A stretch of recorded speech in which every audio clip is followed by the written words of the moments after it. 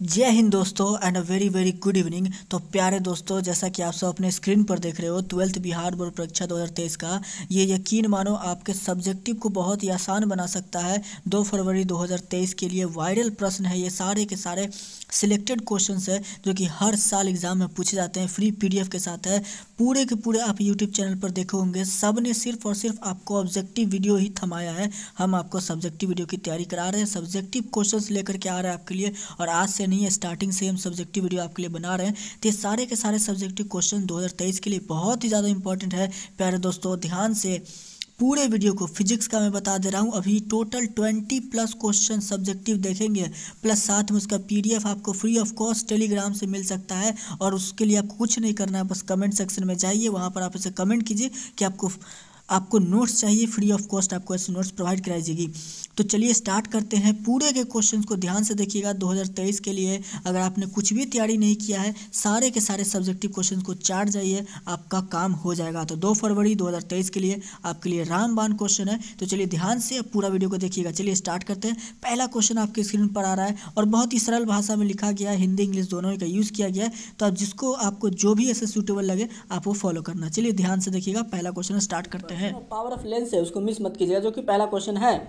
कहता है, किसी उत्तल लेंस को पानी में पूर्णतः डुबाने से, डुबाने पर उसकी फोकस दूरी बढ़ जाती है। क्यों? आंसर दीजिए। अगर आप किसी उत्तल लेंस को पानी में डुबा दोगे ना तो उसका जो फोकस दूरी है ना, वो बढ़ जाता है। तो आखिर ऐसा क्यों होता है? वाई तो इसका आंसर ये होगा ना कि देखिए किसी लेंस की फोकस दूरी निम्न सूत्र द्वारा दी जाती है। देखिए किसी भी लेंस का अगर आपको फोकस दूरी निकालना है तो उसका फॉर्मूला आपको दिया जाता है one by F equals two mu by mu one minus one one by R minus one by R two हम लोग को ये मालूम है। ठीक है जहाँ लेंस पदार्थ पर अपरवांतक तथा माद, तथा माध्यम का अपरवांतनांक तथा आर वन एवं आर टू लेंस के सतहों की वर्कता त्रिज्याएँ हैं। इसीलिए इसीलिए इसीलिए आपका आगे कहता है अतः दिए गए लेंस के दिए गए लेंस के लिए F directly proportional mu one by mu minus mu one ठीक है? और लेकिन हवा के लिए म्यू का मान हम लोग को पता है कि ज़ीरो होता है तो हम लोग पुट करते हैं म्यू का वैल्यू तो F directly proportional F S to one by mu minus mu one तथा पानी के लिए म्यू का वैल्यू होता है हम लोग का फोर बाई थ्री ठीक है? तो F water is directly proportional to four by three mu minus four तो आप इसको जब सॉल्व करोगे वाटर बटे एयर जब इसको वाटर बटे एयर करने वाले हो तो जब सॉल्व करोगे ना तो आपका वन से आपका क्या आएगा? ग्रेटर आएगा। ठीक है? इसीलिए वाटर का वाटर का एयर के मुकाबले में आपका फोकस दूरी बढ़ जाता है, ठीक है? क्योंकि जब सॉल्व करने पे वाटर का वैल्यू ज़्यादा आ जाता है, चलिए क्वेश्चन नंबर टू की तरफ़ आते हैं। सूर्योदय तथा सूर्यास्त के समय क्षितिज जल, क्षितिज लाल प्रतीत क्यों होता है? ये आपका टेंथ में भी बहुत इंपॉर्टेंट क्वेश्चन था।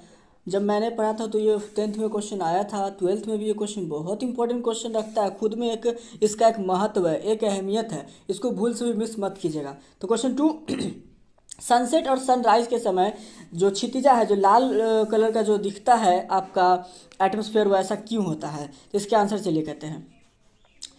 लॉर्ड रेली लॉर्ड रेली अगर कोई वन पीस देखते होंगे तो उसमें भी है डार्क रेली किंग ठीक है?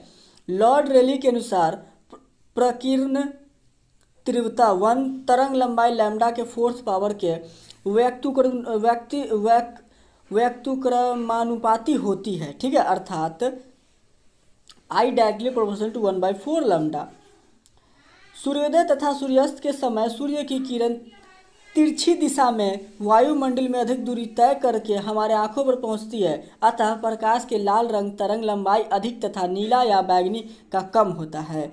ठीक है? इस कारण से प्रकाश के लाल रंग का पर्व प्रकीर्णन कम तथा नीला या बैगनी का प्रकीर्णन सबसे अधिक होता है। इससे नीला या बैगनी वायुमंडल में विलीन हो जाती है। लाल किरणों का प्रकीर्णन कम होने से वह बचा रह जाता है। इस कारण से सूर्य, सूर्योदय और सूर्यास्त के समय क्षितिज लाल प्रतीत होता है। लाल का ही मेन काम है। ठीक है? चलिए। Question number third why sky appears blue आपने देखा होगा जब मैं इंग्लिश में वीडियोस बनाता हूँ मैं कहीं रुकता या आ, अटकता नहीं उसमें मुझे कोई दिक्कत नहीं होती। लेकिन हाँ हिंदी में मुझे दिक्कत होता है जो कि आपने हर वीडियोज़ में देखा होगा। इंग्लिश के भी मैं जब ऐसे वीडियोज़ बायोलॉजी का मैं इंग्लिश में वीडियोज़ लाता हूँ तो उसमें आपको देखे होंगे उसमें मुझे कहीं कोई प्रॉब्लम नहीं होता। फ्लुएंट चलता है क्योंकि जो मेरा बेसिक्स है इंग्लिश में ज़्यादा अच्छा हाथ पकड़ है उसमें अच्छे से कमांड कर लेता हूँ तो मैं अच्छे से समझा भी सकता हूँ। हिंदी में थोड़ा सा दिक्कत हो जाता है तो अभी चल रहा है, सीख रहा हूँ आपको अच्छे से, लेकिन बताने का। हाँ इंग्लिश के सभी क्वेश्चन लेकिन आप लोग का डिमांड है कि, सर क्वेश्चन चाहिए तो हिंदी में ही। ठीक है, इसके तहत ऐसे मजबूरी में हमको हिंदी में लिखना पड़ता है, हिंदी में लाना पड़ रहा है। जिस दिन बोलोगे कि इंग्लिश में सारे लोग चाहिए तो उस दिन ऐसे इंग्लिश में आपको क्वेश्चन मिलेंगे। चलिए वाई स्काई अपियर्स ब्लू आकाश नीला क्यों दिखाई पड़ता है? बहुत इंपॉर्टेंट क्वेश्चन है। वायुमंडल में जल, कण धूल कण धातुओं के कण तथा गैस के अणु उपस्थित रहते हैं। सूर्य का श्वेत प्रकाश इन कणों पर आप आपतित होती है। कण इन प्रकाशों की प्रकिरण स्कैटरिंग करता है। इसमें लाल रंग के प्रकाश की तरंग लंबाई सबसे अधिक होती है। अतः इसका स्कैटरिंग यानी कि प्रकिरण कम होता है, परंतु नीला रंग का तरंग लंबाई सबसे कम होता है, इसमें प्रकाश प्रकिरण स्कैटरिंग सबसे अधिक होता है, इस कारण से आकाश में नीले रंग के प्रकाश सबसे अधिक है, पाए जाते हैं, जिससे आकाश नीला या आसमानीय दिखाई पड़ता है। चलिए क्वेश्चन नंबर फोर बहुत इंपॉर्टेंट है। व्हाट इज़ लाइट ईयर आप क्वेश्चन उठाकर देखना, अगर सब्जेक्टिव टाइप का सिर्फ़ क्वेश्चन पूछा जाता है ना, उसमें यह क्वेश्चन बहुत बार पूछा गया है व्हाट इज़ लाइट ईयर प्रकाश वर्ष क्या है? बहुत इंपॉर्टेंट है। बहुत इंपॉर्टेंट है, इसको मिस मत कीजिएगा। चलिए, कहता है, निर्वात वैक्यम में प्रकाश एक वर्ष में जितनी दूरी तय करती है, उसे प्रकाश वर्ष कहते हैं। ठीक है वैक्यम में जितना दूरी ऐसे ट्रैवल कर ले, एक वर्ष में उसे प्रकाश वर्ष कहते हैं। प्रकाश वर्ष का बीमा दूरी का बीमा बराबर एल ठीक है? अब निर्वात में प्रकाश द्वारा एक सेकंड में तय की गई दूरी। एक सेकंड में आपका जो तय करता है ना three into ten to the power eight metre per second एक प्रकाश ईयर आपका बराबर अगर इसको सॉल्व करोगे तो निकलेगा थ्री सिक्स फाइव को सॉल्व कीजिए। ठीक है? ओवरऑल जब इसको सॉल्व करोगे तो आपका मीटर में आएगा nine point four six one into ten to the power twelve kilometre per hour सूर्य से प्रकाश तक सूर्य से पृथ्वी का तक प्रकाश को आने में लगभग आठ मिनट लगता है, अतः सूर्य से पृथ्वी की दूरी आठ प्रकाश मिनट होती है, इसको याद रखेंगे। ठीक है? आगे चलते हैं इसी में। पृथ्वी से निकट, निकटतम तारा की दूरी बाईस प्रकाश वर्ष की है। चलिए, चलते हैं आगे। क्वेश्चन नंबर लास्ट जो कि फाइव है what do you understand by dispersion of light ये भी बहुत इंपॉर्टेंट है। ये आपका पाँच नंबर में भी क्वेश्चन आपको इसको दे सकता है। पाँच नंबर के लिए भी आप इसके लिए तैयार रहेंगे। डिस्पर्सन ऑफ़ लाइट बहुत बहुत महत्व रखता है। तो कहता क्या है? जब एक श्वेत लाइट यानी कि वाइट लाइट की किरण प्रिज्म से गुजरती है, तब यह सात रंगों में विभक्त हो जाता है। इस घटना को प्रकाश का वर्ण विक्षेपण कहते हैं, ठीक है? इन सातों रंगों को बेवनिया पीला बेनिया पिनाला से जाना जाता है। ठीक है? बेनिया पिनाला से जाना जाता है। बैगनी रंग का प्रिज्म से विचलन सबसे अधिक तथा लाल रंग का सबसे कम, पहले भी बता चुके हैं, सबसे कम होता है। इस कारण से बैगनी सबसे नीचे तथा लाल सबसे ऊपर हो जाता है। बीच में बाकी रंगों की किरणें रहती हैं। मान लिया कि लाल तथा बैगनी रंग की किरणों का विचलन क्रमशः क्रमशः सिग्मा आर और भी है। और, अपर, आपका अपरोनात्मक क्रमशः म्यू आर तथा म्यू भी है। तो इसको सॉल्व करोगे ना, आखिर में जब इसको आप सॉल्व करोगे, आखिर में जब इसको सॉल्व किया जाएगा ना तो देखना मेरे प्यारे दोस्तों, यही आपका आंसर आएगा, म्यू भी minus mu r into a अब इसको एक बार देख ज़रूर लेना। Why red lamp is use in signal of danger बार बार ये क्वेश्चन पूछता है कि आखिर रेड लाइट ही क्यों डेंजर का सिग्नल होता है? बहुत इंपॉर्टेंट क्वेश्चन है, बता दे रहा हूँ बार बार बोलता हूँ। चलिए। लॉर्ड रेले के अनुसार प्रकीर्ण तिरवन एल तरंग लंबाई लैम्डा के फोर्थ पावर के वैक्तुक्रमनापी वैक्तुक्रनानुपाती होता है। देखो, हिंदी में मुझे थोड़ा सा प्रॉब्लम होता है, इसीलिए इतना ज़्यादा आपको थोड़ा सा दिक्कत होता है। ठीक है, माफ़ कीजिएगा। इंग्लिश में आप देखे होगे इंग्लिश में मुझे कोई दिक्कत नहीं होता है। इंग्लिश की वीडियोज़ रहेगी तो मुझे कोई प्रॉब्लम नहीं होगा। लेकिन हिंदी पढ़ने बोलने में थोड़ा सा दिक्कत हो जाता है। कोशिश में है उसको फ्लुएंट करने का। ठीक है? अर्थात one by one directly proportional to one by four lambda लाल रंग के प्रकाश की तरंग लंबाई सबसे अधिक होती है, अतः इसका प्रकीर्ण कम होता है। ठीक है? इस कारण से लाल वस्तु दूर तक चला जाता है। इसमें हमें लाल बहुत दूर से ही दिखाई पड़ने लगता है अतः रेलवे में खतरे की सूचना लाल बत्ती से ही दी जाती है। तो समझ गए क्यों? क्यों? क्योंकि आपका पर, जो लाल रंग का जो प्रकाश का जो तरंग का जो लंबाई है ना वो अधिक होता है। ठीक है? याद रखेंगे। चलिए क्वेश्चन नंबर सेवन मेरे प्यारे दोस्त। Compare the difference between diffraction and interference. ये भी एक इंपॉर्टेंट क्वेश्चन है। ये भी आप अगर उठा के देखोगे गेस्ट पेपर या क्वेश्चन बैंक तो ये सारे क्वेश्चन आपको उसमें मिल जाएँगे। कहता है, दोनों के बीच में डिफरेंस कहता है, व्यक्तिकरण दो फलाबद्ध स्रोत यानी कि कोहरेंट सोर्स से निकलती है, निकलने वाली तरंगों से आपसी अध्यारोपण सुपरपोजिशन के फलस्वरूप अपना उत्पन्न होता है। परंतु परंतु विवतरण एक ही तरंग वेब फ्रंट के विभिन्न बिंदुओं से चलने वाले सेकेंडरी वेबलेट्स वेबलेट्स के अध्यारोपण से उत्पन्न होता है। ठीक है? दोनों में एक एक हो गया। दूसरा। व्यक्तिकरण में सभी चमकीली धारियाँ एक ही तीव्रता की होती है, परंतु विवितरण में सभी विभिन्न तीव्रताओं के तीव्रताओं के रहते हैं। अलग अलग ठीक है? तो डिफ्रैक्शन और इंटरफ्रेंस में डिफरेंस आपने देख लिया। चलिए आगे क्या कहता है इसी में? व्यक्तिकरण दो आगे है इसी में। व्यक्तिकरण यानी कि डिफ्रैक्शन में धारियों की चौथाई समान होती है परंतु इंटरफ्रेंस में विवतरण में समान नहीं होती है। नेक्स्ट व्यक्तिकरण डिफ्रैक्शन धार धारियों में न्यूनतम प्र, प्रतिपन मिनिमम इल्यूमिनेशन की स्थिति पूर्ण रूप से काली होती है परंतु वितरण में पूर्ण काली नहीं होती है। ठीक है? चारों में difference next question number eight. ये भी रिजॉल्विंग पावर जो है ना आई इंस्ट्रूमेंट का एक इंपॉर्टेंट क्वेश्चन है। What is meant by resolving power of an instrument ठीक है? देखो इंग्लिश पढ़ने में मुझे कोई दिक्कत नहीं होता है हिंदी में थोड़ा सा दिक्कत होता है, इसलिए मैं बार बार बताता हूँ। यंत्र की विभेदन क्षमता का क्या अर्थ है? यंत्र की विभेदन क्षमता का क्या अर्थ है? लेकिन मजबूरी है कि आप लोग हिंदी में ही क्वेश्चंस को ऐसे डिमांड किए थे इंग्लिश में करोगे तो इंग्लिश में ही लेकर के आएँगे, हिंदी में किए हो तो हिंदी में लेकर के आना पड़ रहा है। चलिए। What is meant by resolving power of an instrument इसका आंसर क्या कहता है? ध्यान से देखिएगा। रिजॉल्विंग पावर का, आपको किस चीज़ का? What is mean by resolving power of an instrument किसी यंत्र की विभेदन क्षमता वह क्षमता है जो बहुत ही निकट के तरंग, निकट के तरंग लंबाई के प्रति प्रतिबिंब अलग अलग बना ले। एन ए में पाँच हज़ार आठ सौ नब्बे एंगस्ट्रम तथा पाँच हज़ार आठ सौ छियानवे एंगस्ट्रम तरंग तरंग लंबाई के दो तरंग बहुत निकट में रहते हैं। इसे अलग करने की विभेदन क्षमता कहते हैं। इसकी माप इन दोनों द्वारा ऑब्जेक्टिव पर बनाए गए कोण से की जाती है। कोण के छोटा रहने पर विभेदन क्षमता अधिक होता है। चलिए तो यही था हमारा कि आखिर कैसे हम लोग रिजॉल्विंग पावर को ऐसे किसी इंस्ट्रूमेंट का माप सकते हैं। क्वेश्चन नंबर नाइन हमारे प्यारे दोस्तों explain the cause of presence of dark lines in solar spectrum बहुत इंपॉर्टेंट है।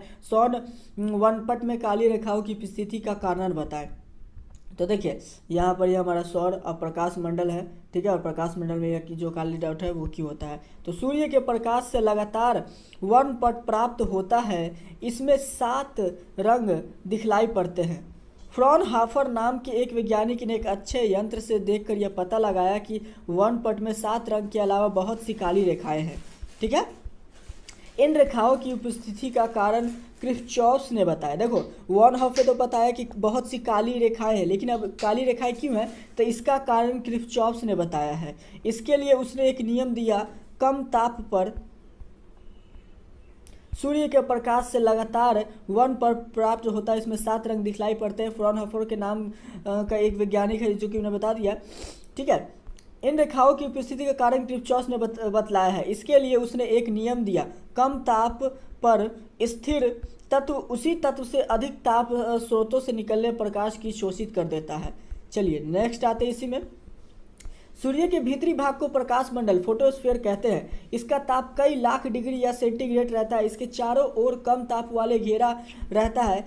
इसे काला मंडल क्रोमोस्फेयर क्रोमोस्फेयर कहते हैं। प्रकाश मंडल ने जब प्रकाश चलता है तब इसमें, इनमें से कुछ रंग की रेखा, रंगों की रेखाओं को काल मंडल शोषित कर लेते हैं। इसके फलस्वरूप और वन पट में बहुत सी काली रेखाएँ दिखाई पड़ जाती है। तो फॉन हॉफ में तो सिर्फ़ बताया था कि काली रेखाएँ होती हैं, लेकिन क्रिपचॉप्स ने आपको बताया कि आखिर काली रेखाएँ क्यों होती है। चलिए क्वेश्चन नंबर टेन, जो कि लास्ट होगा इस वीडियो का, आज की वीडियो का व्हाट इज़ फोटोसेल देखो, ये भी एक इंपॉर्टेंट क्वेश्चन है।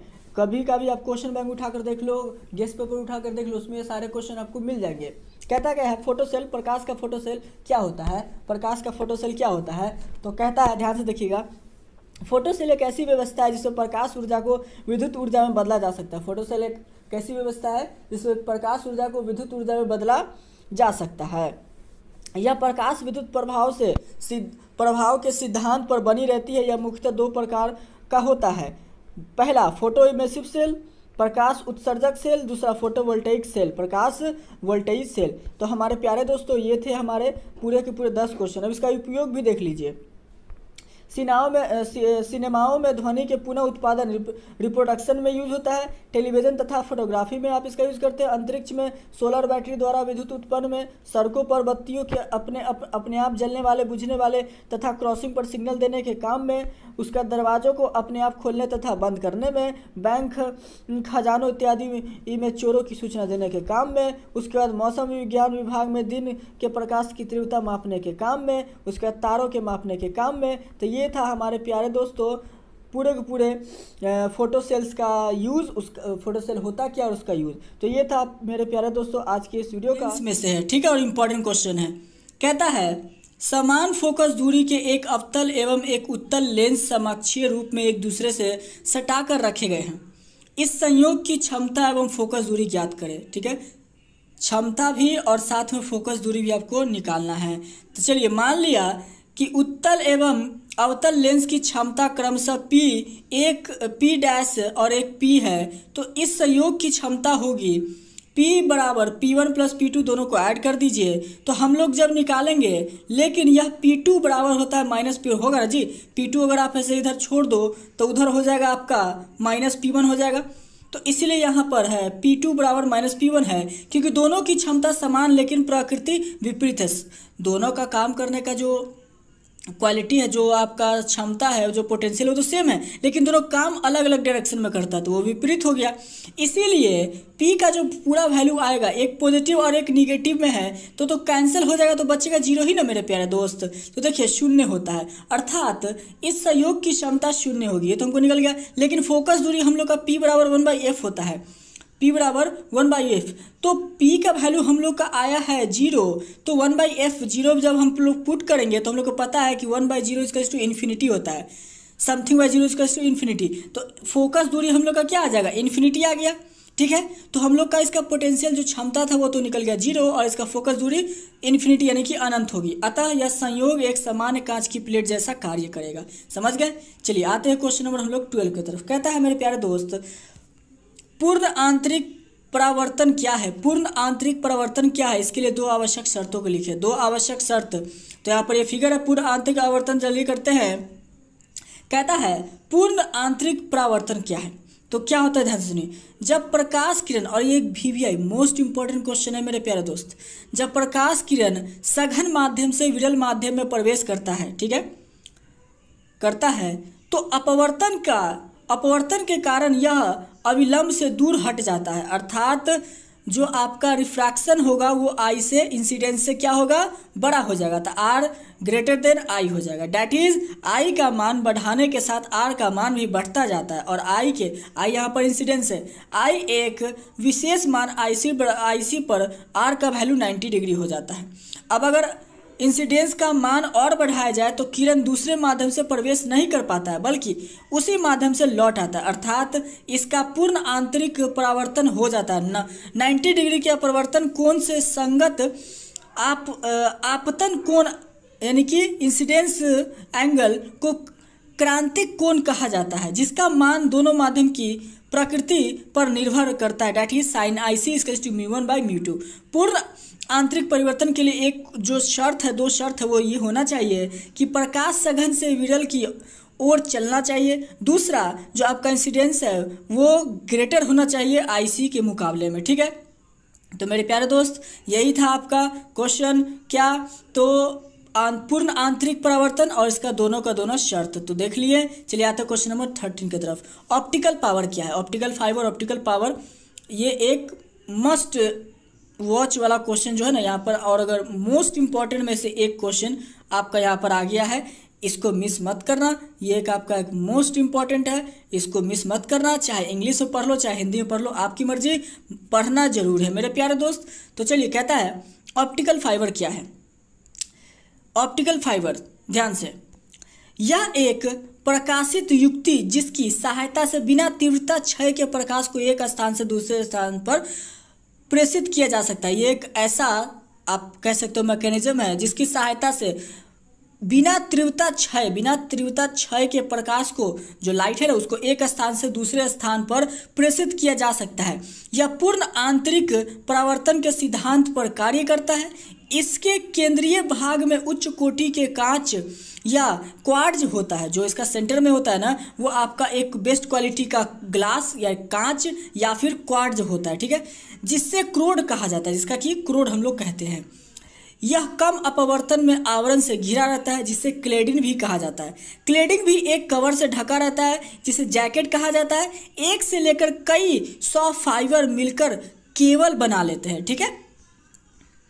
और जब ये केबल बना लेते हैं तो इसी केबल को हम लोग बोलते हैं ऑप्टिकल फाइबर। और इस ऑप्टिकल फाइबर का हम लोग बहुत सारी चीज़ों में यूज़ करते हैं। तो देखिए कि जैसे कि ऑप्टिकल फाइबर का यूज़ चिकित्सा जाँच में लाइट पाइप के रूप में किया जाता है। प्रकाशीय संकेतों के सप्रेशन में भी करते हैं। इसका उपयोग विद्युत संकेतों को भी सुदूर स्थानों पर भेजने में भी किया जाता है।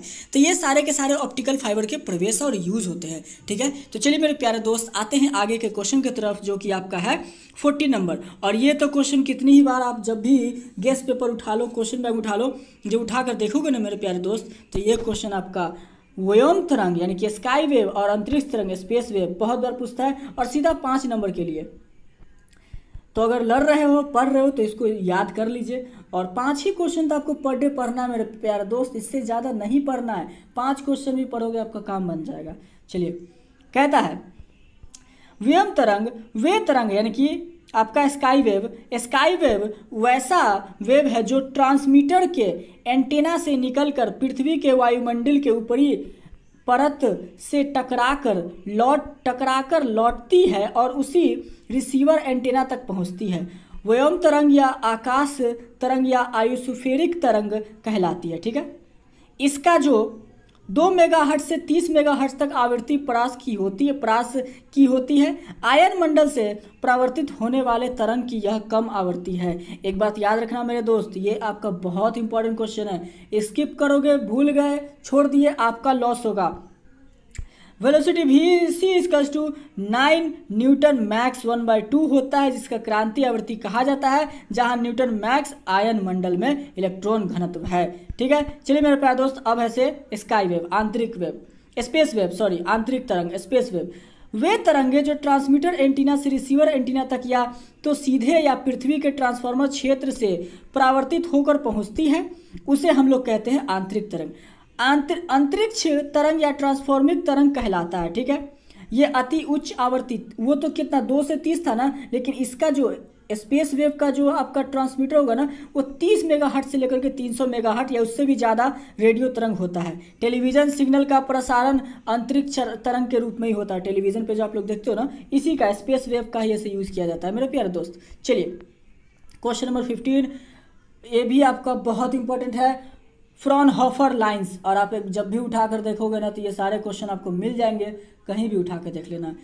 फ्रॉन फ्रॉनहॉफर रेखाएँ क्या है? लास्ट क्वेश्चन आज की इस वीडियो का, जो कि आपका फिजिक्स का लास्ट क्वेश्चन होगा, ध्यान से देख लीजिएगा। सेक्शन सी का सी का लास्ट क्वेश्चन चल रहा है। बस, चलिए, कहता है, सूर्य के प्रकाश से लगातार वन पट प्राप्त होता है। सूर्य के प्रकाश से लगातार वन पट प्राप्त होता है।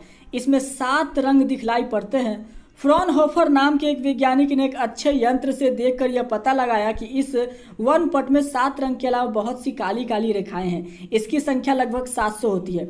इसमें कुछ काली रेखाएँ स्पष्ट तथा कुछ अस्पष्ट होते हैं। फ्रॉनहोफर ने स्पष्ट रेखाओं का नाम A, B, C, D, E, F, G, H तथा के रखा। इसे फ्रॉनहोफर लाइन्स कहते हैं। और ये क्वेश्चन मैंने पिछली वीडियो में भी जब मैं पढ़ा रहा था तो उसको मैंने एक्सप्लेन किया था कि कितना ज़्यादा इंपॉर्टेंट है। और ये एग्ज़ाम में कितना ज़्यादा महत्व रखता है। लेकिन मध्य ए रेखा लाल रंग के आखिरी छोर में बी तथा सी रेखा लाल रंग के मध्य में डी रेखा पीला तथा नारंगी के मध्य में ई e हरा रंग के नज़दीक एफ़ आसमानी के नज़दीक जी नीला के भाग में तथा एच और के रेखा बैंगनी रेखा के। तो जो आपका जो रेनबो का पूरा कलर बनता है ना साथ उस कलर को आप मिला लेना, आपका बन जाएगा। इन रेखाओं की उपस्थिति का कारण क्रिप्चॉप्स ने बताया था, और इसका भी मैंने एक्सप्लेन किया था कि ये जो रेखाएँ बनती हैं, ये तो बता दिया फ्रॉन होफर ने कि ये लाइन्स है, लेकिन क्यों और क्यों इसका क्या महत्व है और क्यों बनती है? ये क्रिप्चॉप्स ने बतलाया था, इस साहब ने बतलाया था। ठीक है? तो मेरे प्यारे दोस्त, यही कंप्लीट होता है। सिक्सटी नंबर ध्यान से देखिएगा। कहता है do x rays and gamma rays have same nature of origin क्या एक्सरे और गामा रे दोनों का सेम नेचर ऑफ़ ओरिजिन होता है? क्या दोनों के दोनों सेम स्थान से ऐसे ओरिजिन ओरिजिनेटर होते हैं? दोनों सेम जगह से ओरिजिनेट करते हैं? ठीक है? अगर हाँ तो कैसे वो भी लिखिए, अगर ना तो वो भी लिखिए। तो मेरे प्यारे दोस्त, दोनों का दोनों जो ओरिजिन होता है, वो अलग होता है। एक्स किरण का कंटिन्यूस और अभिलाक्षिक किरण का कैरेक्टरिस्टिक्स एक्स रेस ठीक है तो देखिएगा।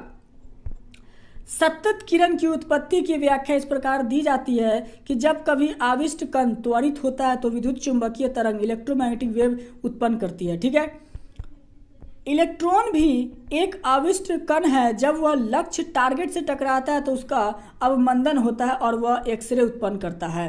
ठीक है? एक्सरे का समझ गए? आते हैं हम लोग नेक्स्ट आगे कहता है, अभिलाक्षणिक एक्सरे की उत्पत्ति की व्याख्या, जो दोबारा से यही आ गया। वाई किरण की उत्पत्ति अस्थाई न्यूक्लियस को न्यूनतम ऊर्जा होती है और वह भूदशा ग्राउंड स्टेट में होता है। इसे अधिक ऊर्जा वाले कण का फोटोन द्वारा बम्बारित कर उत्तेजित किया जा सकता है। जब कोई उत्तेजित न्यूक्लियस भूदशा में आता है तो वाई किरण की उत्पत्ति होती है। कोई दिक्कत मेरे प्यार दोस्त? क्वेश्चन नंबर सेवेंटीन कहता है what do you understand by photo electric effect रट्टा मारो वी है वी है, एकदम इसको ऐसे वी टिक कर लेना, टिक कर लेना। वैसे तो सारे क्वेश्चन मैं वी ही बता रहा हूँ, लेकिन ये उसमें से वन ऑफ़ द मोस्ट उससे भी ज़्यादा इंपॉर्टेंट क्वेश्चन आ गया। फ़ोटो इलेक्ट्रिक इफ़ेक्ट क्या होता है? प्रकाश विद्युत प्रभाव से आप क्या समझते हैं? देखिए, प्रकाश के प्रभाव से कुछ धातुओं से इलेक्ट्रॉन उत्सर्जित होता है, इसे विद्युत की उत्पत्ति होती है, इस घटना को प्रकाश विद्युत प्रभाव फ़ोटो इलेक्ट्रिक इफ़ेक्ट कहते हैं। समझ गए फ़ोटो इलेक्ट्रिक इफ़ेक्ट उसका यहाँ पर आप फिगर भी देख लेना। इसका आविष्कार सबसे पहले एक टेलीग्राफ ऑपरेटर विल स्मिथ ने 1873 ईस्वी में किया था। फिर कुछ वर्षों बाद 1887 में हार्ज ने भी इसकी पुष्टि की।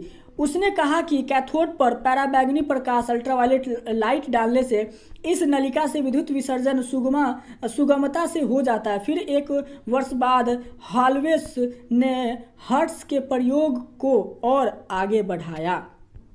आगे कहता है मेरे प्यारे दोस्त, इसी में हॉलवेस ने इसके लिए एक बल्ब लिया, इसके अंदर की हवा को उसने निकाल दिया, बल्ब के अंदर जस्ते को दो प्लेट ए और सी में रखा, इसमें एक प्लेट पॉजिटिव तथा दूसरा निगेटिव में जुड़ा रखा जुड़ जुड़ता था, ठीक है, जुड़ा रहता था, इन्हें एक गैल्वेनोमीटर के द्वारा विद्युत बैटरी से जोड़ा जाता था, उसके बाद निगेटिव प्लेट पर पैराबैग्नेटिक प्रकाश डालने से गैल्वेनिक में विक्षेप होता है पैराबैग्निक पैराबैग्नी प्रकाश डालने डालना बंद कर देने पर विक्षेप शून्य हो जाता है। ये बताया गया कि जब उसे अल्ट्रावायलेट लाइट डाला गया तो जो उस पर जो गैल्वेनिक सेल पे जो आपका निगेटिव सेल था, उस पर से क्या हो रहा था कि ज़ीरो हो जा रहा था। इसका अर्थ यह निकला कि केवल निगेटिव प्लेट पर ही पाराबैग्नी पाराबैग्नी प्रकाश डालने से धारा प्रवाहित होता है हॉलवेस इस घटना का कोई कारण बतला नहीं सके। आखिर ऐसा क्यों होता है? तो उसका कोई भी ऐसे रीज़न नहीं बता पाए। ठीक है? फिर आते हैं आगे हमारे जे जे थॉम्सन साहब। 1900 में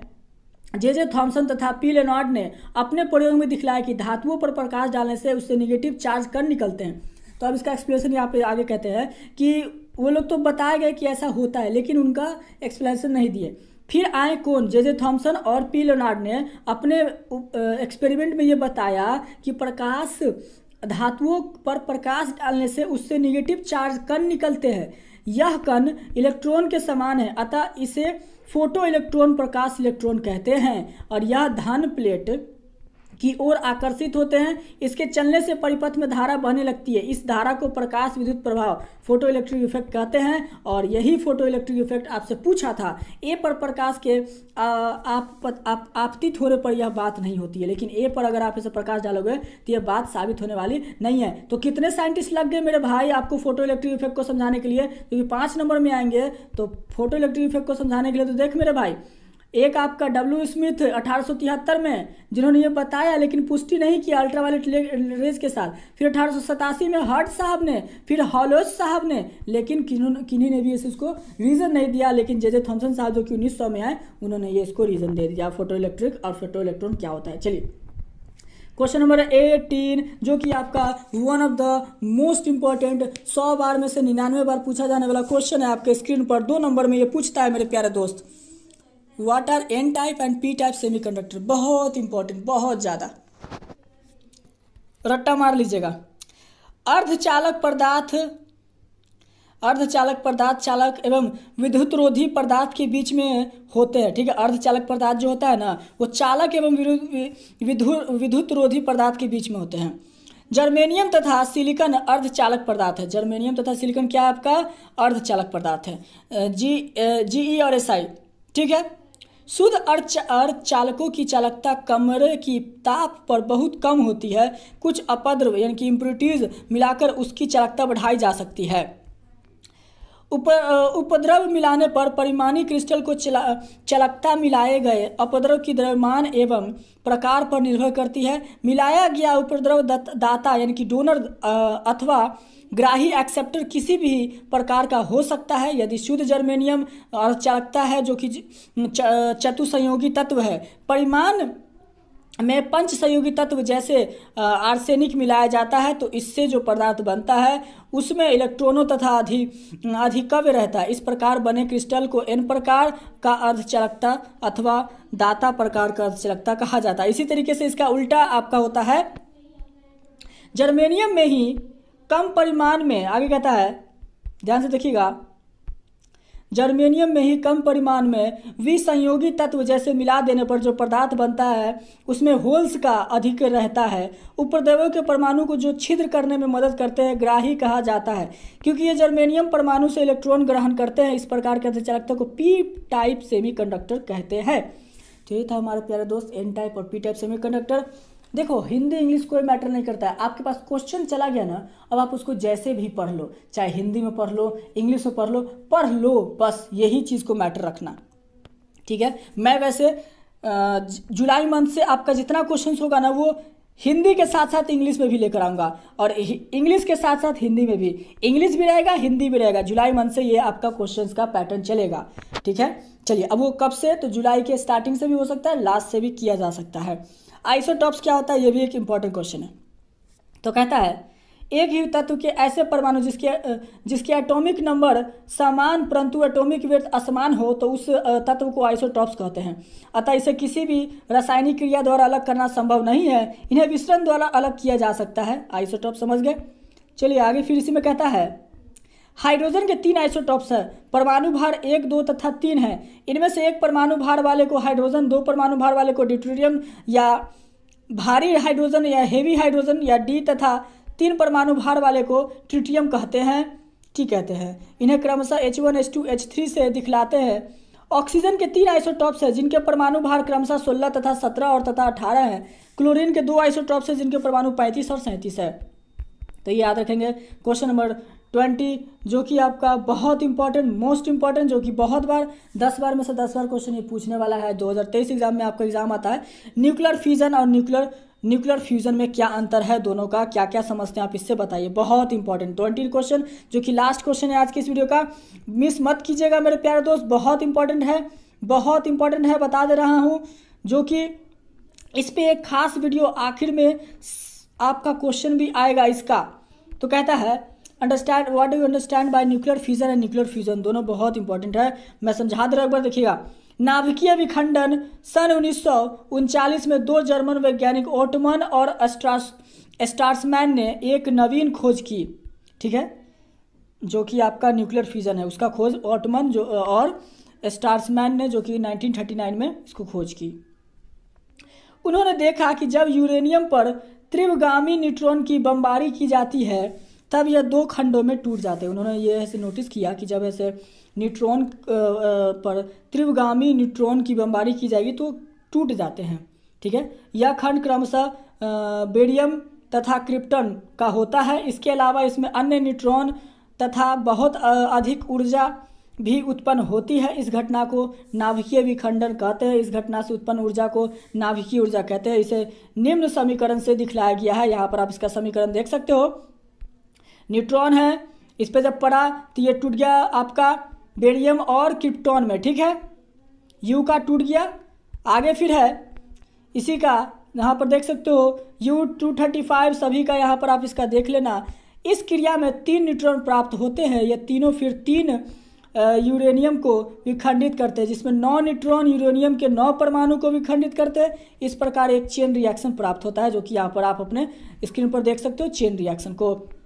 आगे फिर है न्यूक्लियर फ्यूजन जब हल्के तत्वों के दो नाभिक बहुत तेज़ी से एक दूसरे से मिलते हैं तो इससे भारी नाभिक का निर्माण होता है। इसकी मात्रा हल्के तत्वों के नाभिकों से कुछ कम होती है। यह मात्रा ऊर्जा के रूप में परि परिणत हो जाते हैं। यह आइंस्टीन के समीकरण equals to m c square के अनुसार होता है। इस क्रिया को नाभिकीय संगलन या उष्मा नाभिकीय प्रतिक्रिया भी कहते हैं। न्यूक्लियर फ्यूजन कहते हैं।